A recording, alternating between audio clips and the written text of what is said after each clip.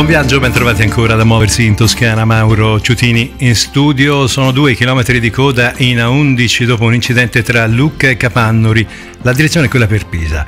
Un veicolo segnalato in avaria tra Firenze Scandicci e Firenze Impruneta. Siamo in A1, la direzione è quella per Roma. Sempre in A1 una perdita di carico tra Valdarno e Arezzo, direzione Roma. Ricordo che sulla 11 la Firenze-Pisa Nord dalle 22 di martedì 4 a luna di mercoledì sarà chiuso l'allacciamento con la 1 Milano-Napoli per chi da Pisa è diretto a Bologna. C'è sempre una riduzione di carreggiata sull'Aurelia Lavori tra Quercianella e Stagno in direzione di Genova. È tutto per il momento. Muoversi in Toscana grazie a Regione Toscana, città metropolitana di Firenze, comune di Firenze. A dopo.